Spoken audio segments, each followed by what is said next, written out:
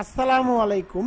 প্রতিদিন রবি মঙ্গল বৃহস্পতি রাত আটটা থেকে নয়টার মধ্যে Rakibul twenty four honour second year ইংলিশের উপরে যে ভিডিও টিউটোরিয়াল আপলোড করতেছে, তার ধারাবাহিকতায় আজকে ক্লাস ফাইভ নিয়ে হাজির হলাম। আজকে আমি তোমাদেরকে শেখাবো top hundred correction suggestion and technique part four.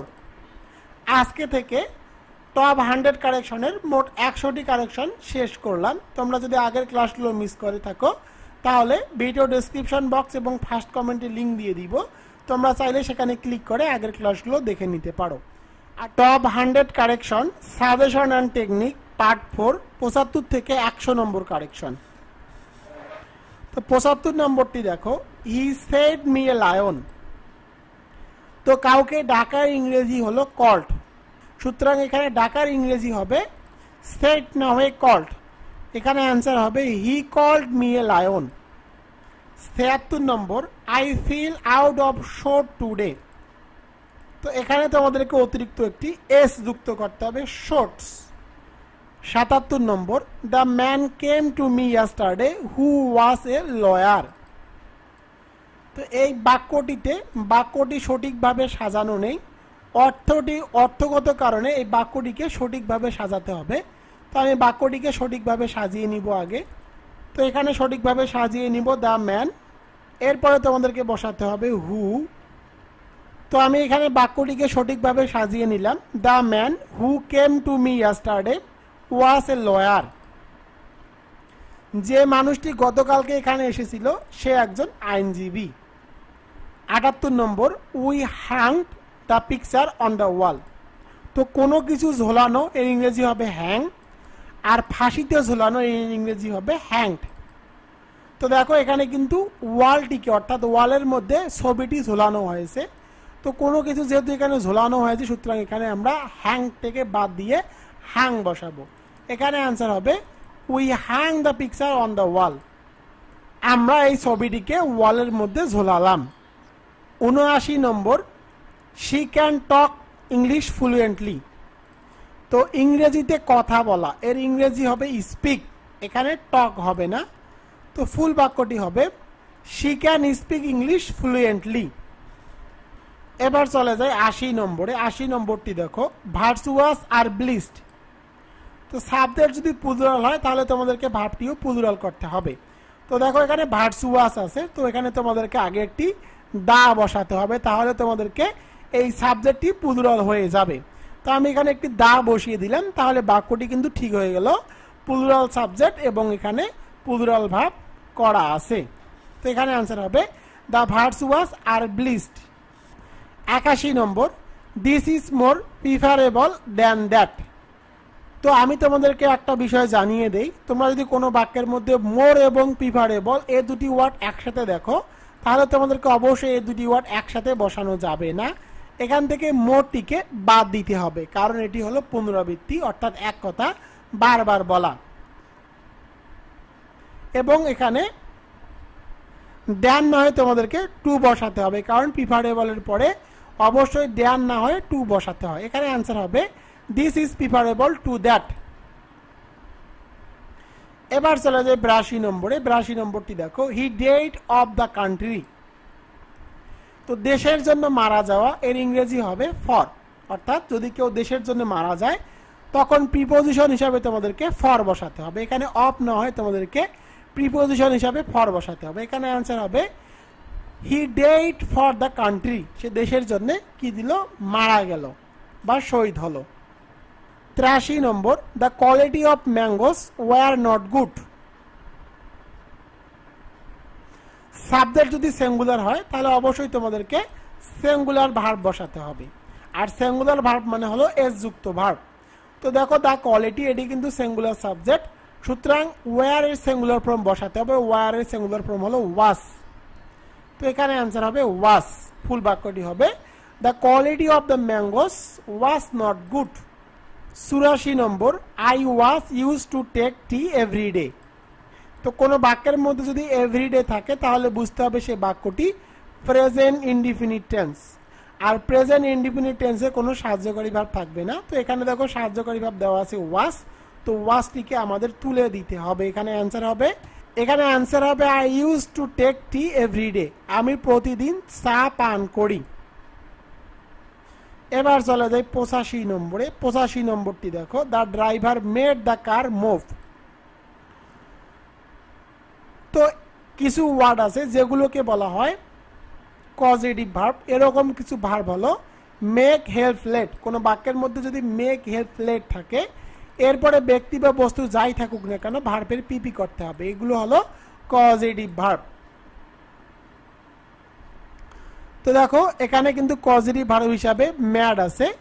এরপরে ব্যক্তি বা বস্তু যাই থাকুক না কেন যে ভার্বটি থাকবে তার পিপি করতে হবে। তো মোফ এর পিপি হলো মোপ এখানে আনসার হবে the driver made the car move এবার চলে যাই ছিয়াশি নম্বরে।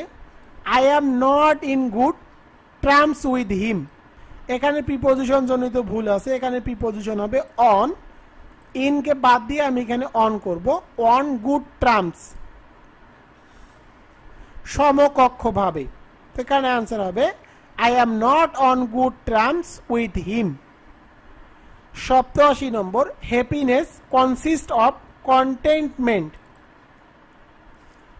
তো এখানে প্রিপোজিশনটি ভুল দেওয়া আছে। এখানে প্রিপোজিশন হিসাবে তোমাদেরকে ইন বসাতে হবে। এই বাক্যটির অর্থ হলো সুখ তৃপ্তির মধ্যে রয়েছে।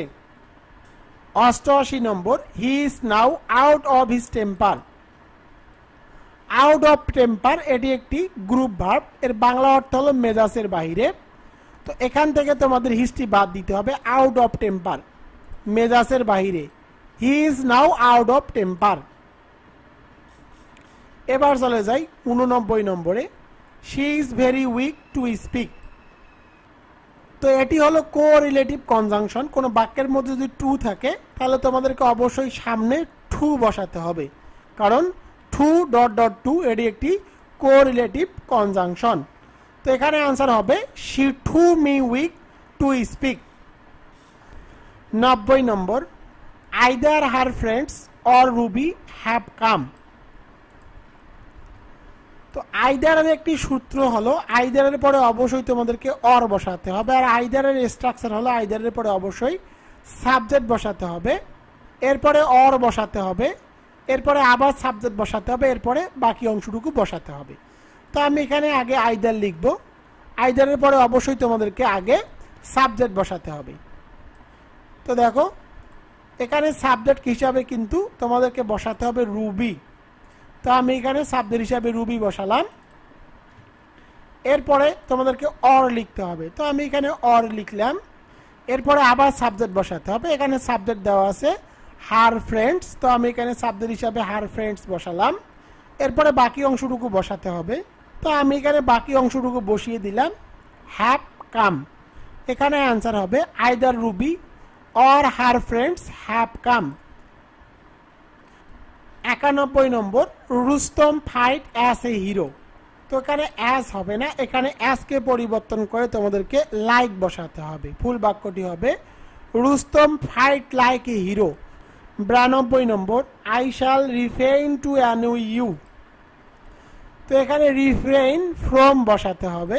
রিফ্রেইন ফ্রম এর বাংলা অর্থ হলো বিরত থাকা। এটি একটি অ্যাপ্রোপ্রিয়েট প্রিপোজিশন এবার চলে যাই তিরানব্বই নম্বরে। তিরানব্বই নম্বরটি দেখো। She is wiser than I think এই বাক্যটির মধ্যে যৌক্তিক ভুল রয়েছে। তো এই বাক্যটির মধ্যে যৌক্তিক সমস্যার কারণে অতিরিক্ত হিসাবে তোমাদেরকে শেষে হার টু বি এর বাংলা অর্থ হলো, আমি তাকে যতটা ভাবি, সে তার থেকে বেশি বুদ্ধিমান। She is wiser than I think her to be তো এখানে অতিরিক্ত হিসাবে তোমাদেরকে হার টু বি বসাতে হবে। চুরানব্বই নম্বর the man was searched for murder তো খুনের জন্য অভিযুক্ত, এর সঠিক প্রিপোজিশনটি হলো উইথ তো এখানে আনসার হবে সার্চ উইথ অভিযুক্ত। The man was searched with the murder লোকটি এই খুনের জন্য অভিযুক্ত। পঁচানব্বই নম্বর do not pride in your wealth তো এখানে তোমাদেরকে টেক বসাতে হবে। Take pride. টেক প্রাইড এর বাংলা অর্থ হলো গর্ব করা। Do not take pride your wealth ধন নিয়ে গর্ব করতে নাই বা ধন নিয়ে গর্ব করো না। যেহেতু এখানে প্রাইড আছে, সুতরাং প্রাইডের আগে তোমাদেরকে অতিরিক্ত একটি টেক বসাতে হবে, টেক প্রাইড, এর বাংলা অর্থ হলো গর্ব করা। ছিয়ানব্বই নম্বর, John went to Scotland for playing golf. এর বাংলা অর্থ হলো, জন স্কটল্যান্ডে গিয়েছে গল্ফ খেলার জন্য। তো সিম্পল সেন্টেন্সের দ্বিতীয় ভার্ব যদি উদ্দেশ্য যুক্ত হয়, তাহলে ভার্বের সাথে টু প্লাস ভার্বের বেস ফ্রম করতে হয়। যেহেতু জন গল্ফ খেলার জন্য স্কটল্যান্ডে গিয়েছে। তো এখানে উদ্দেশ্য আছে সুতরাং তোমাদেরকে টু প্লাস ভার্বের বেস ফ্রম করতে হবে। এখানে ফরটিকে কেটে দিয়ে টু প্লে করতে হবে। এখানে অ্যান্সারটি হবে John went to Scotland to play golf সাতানব্বই নম্বর the minister gave a valuable speech তো বক্তব্য দেওয়া, এর ইংরেজি হলো ডেলিভারেট তো এখানে অ্যান্সার হবে the minister delivered a valuable speech আটানব্বই নম্বর industry is the key of success তো কি টু এর বাংলা অর্থ হলো চাবিকাঠি। কি অফ হবে না কি টু বসাতে হবে। পরিশ্রম সৌভাগ্যের প্রস্তুতি বা পরিশ্রম সৌভাগ্যের চাবিকাঠি।